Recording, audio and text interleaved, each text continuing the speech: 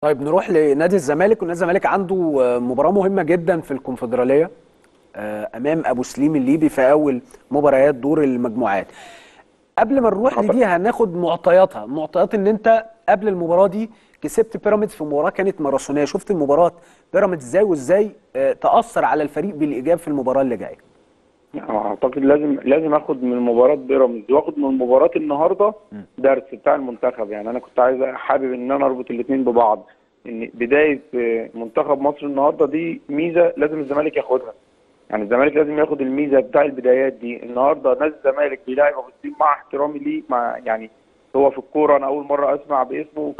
ففريق أبو سليم لازم يبقى عارف إن هو بيلاعب الزمالك بطل أفريقيا وأعظم فريق في أفريقيا. الحاجات دي كلها هتبان من البدايات. لازم إحنا كنادي الزمالك نبقى عاملين كده لكن ما نجيش زي السنتين اللي فاتوا بنيجي في البدايات في بطولة أفريقيا نعاني وبعد كده نقعد نحط أملنا على آخر مباراة. لازم نكسب وبنكسب بشكل أنفس وبالتعب. لا إحنا مش عايزين كده. عايزين البداية تكون قوية عشان نوصل للحالة اللي إحنا شفناها النهارده مع منتخب مصر. فأنا بتمنى ده من نادي الزمالك في بطولة أفريقيا.